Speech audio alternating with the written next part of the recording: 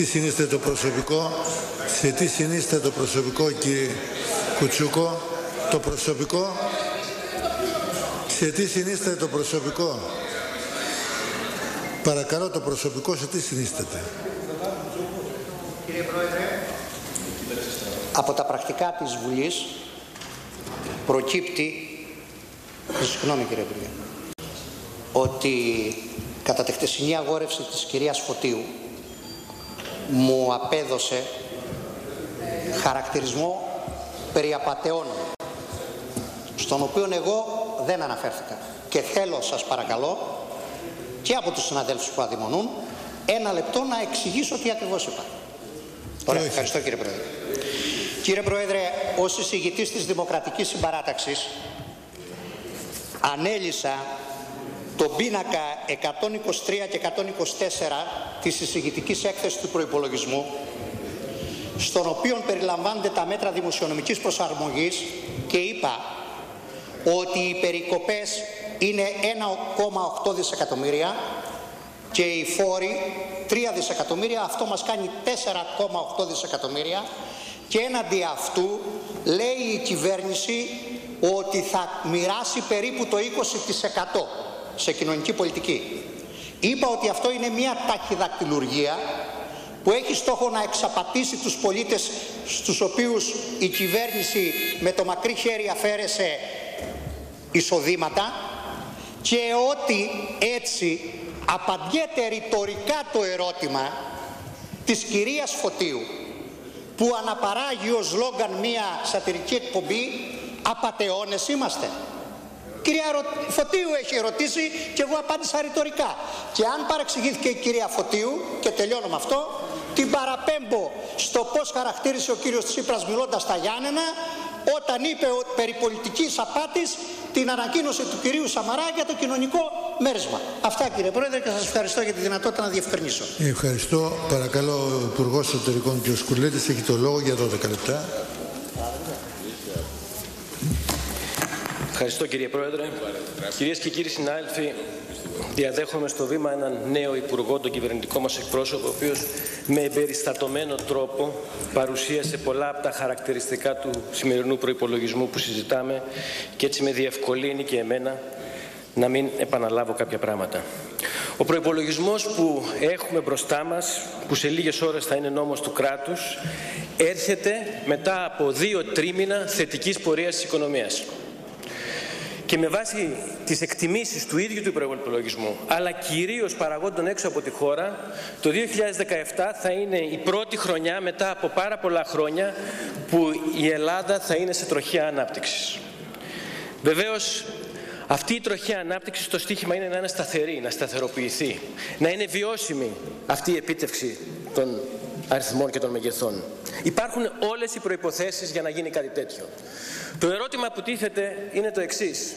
Υπάρχουν δυνάμεις σήμερα στην Ευρώπη οι οποίες και έξω από την Ευρώπη να θέλουν να ανακόψουν αυτή την πορεία; Υπάρχουν δυνάμεις που ενοχλούνται με την κυβερνητική πολιτική η οποία δεν ενδίδει σε μια πολιτική ανακύκλωση της λιτότητας η οποία δεν υιοθετεί την λογική των μνημονίων αλλά προσπαθεί κάθε στιγμή να δημιουργήσει τους όρους απεμπλοκής από αυτές; Απαντάω ευθέως.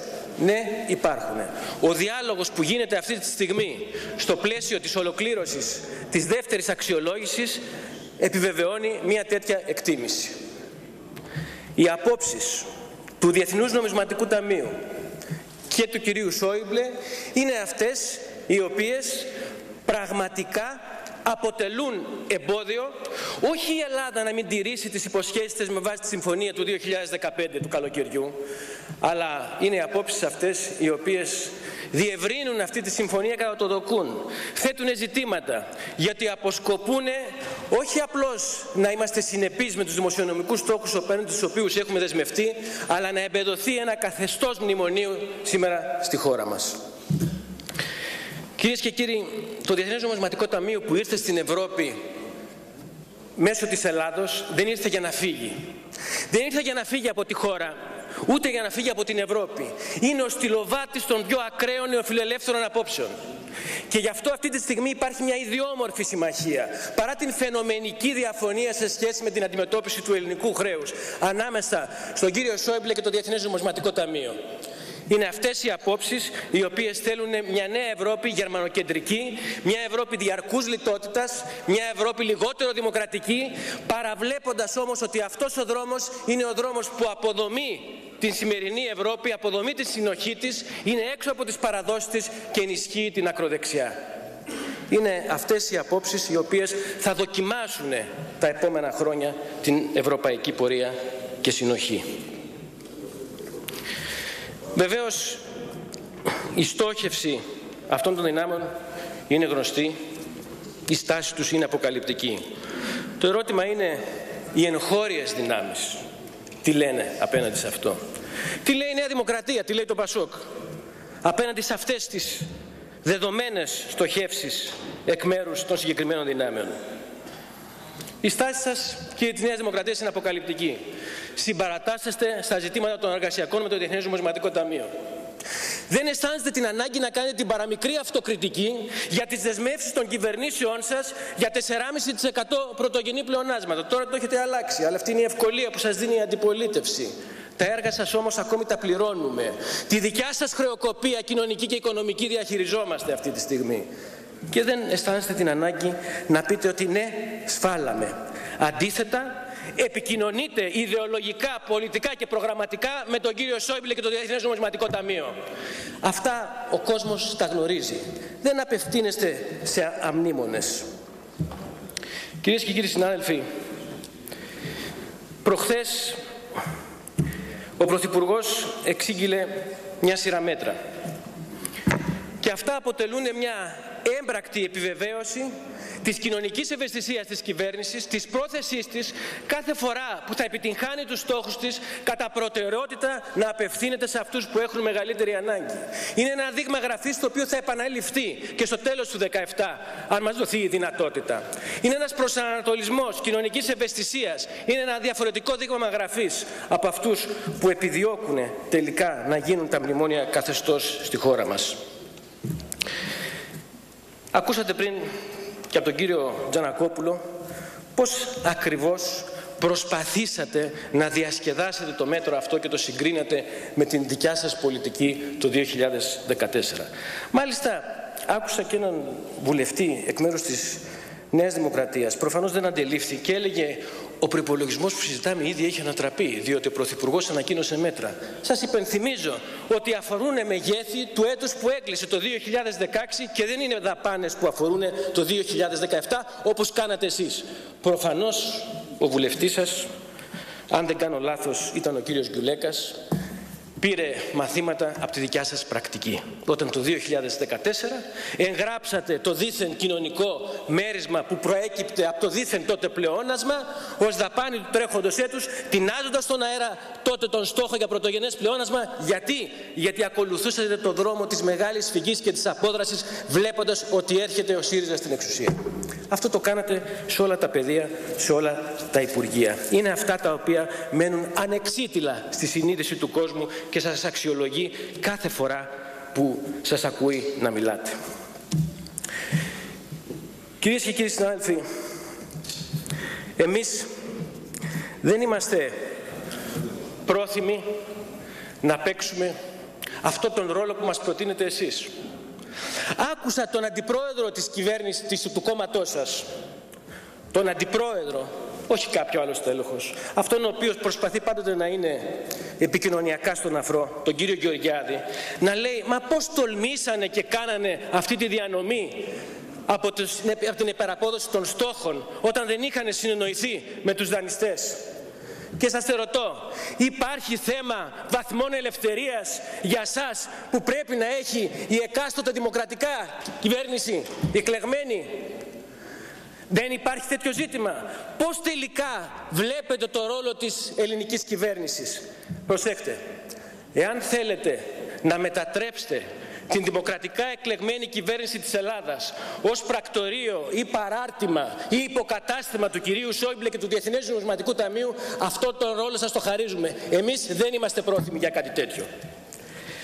Την προηγούμενη εβδομάδα, κυρίες και κύριοι, βρέθηκα στο συνέδριο της ΚΕΔΕ και είχα εκεί την δυνατότητα να ακούσω τον αρχηγό της αξιωματικής αντιπολίτευσης απευθυνόμενος με ένα έκδηλα αμήχανο τόνο και τρόπο προς τους εκλεγμένους δημάρχους να μιλάει για ελλείψεις στον χώρο της τοπικής αυτοδιοίκησης.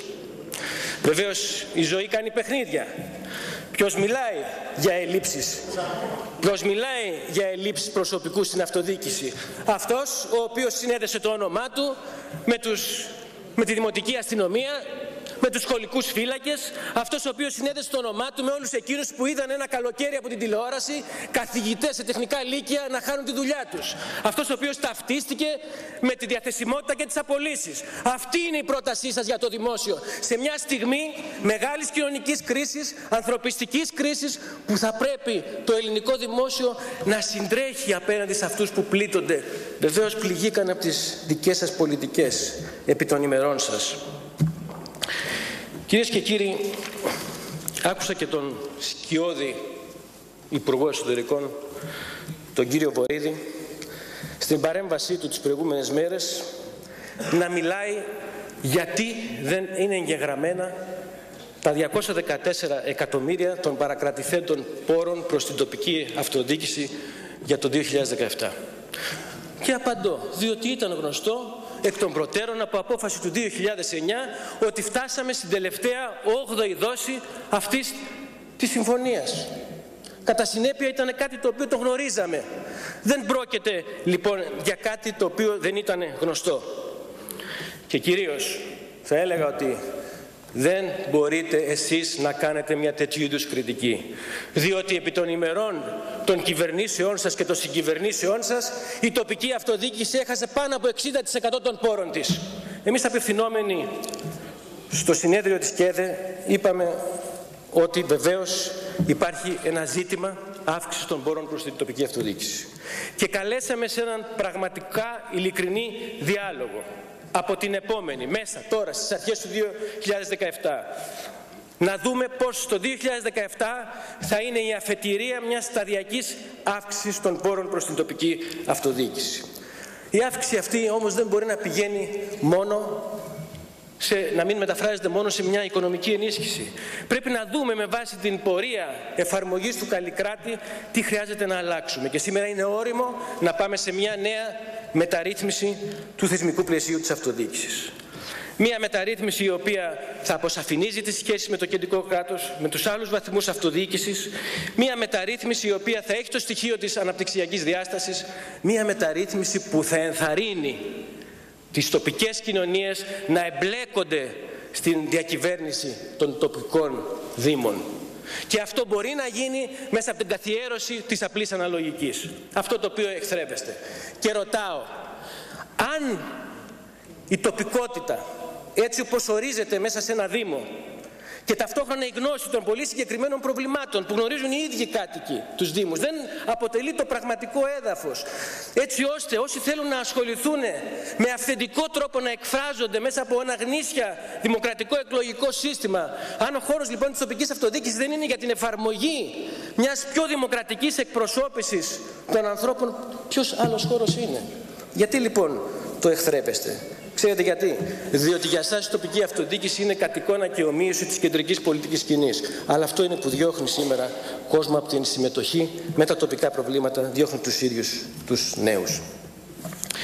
Κυρίες και κύριοι συνάδελφοι, όλο το προηγούμενο διάστημα από το καλοκαίρι υπήρξε μια συστηματική προσπάθεια επιχείρηση μηντιακής παραπληροφόρησης γύρω από ένα θέμα που χειρίστηκα επί μήνες του ΔΕΣΦΑ. Και γύρω από αυτό φτιαχτήκανε μια ολόκληρη ιστορία για το θέμα των ιδιωτικοποίησεων και των επενδύσεων. Εδώ λοιπόν σήμερα μου δίνεται η ευκαιρία να αποκαταστήσουμε ορισμένα πράγματα και να μάθει κυρίως ο κόσμος. Ο διαγωνισμός αυτός ολοκληρώθηκε το 2013 και τον είχατε κάνει εσείς κύριοι της Νέας Δημοκρατίας.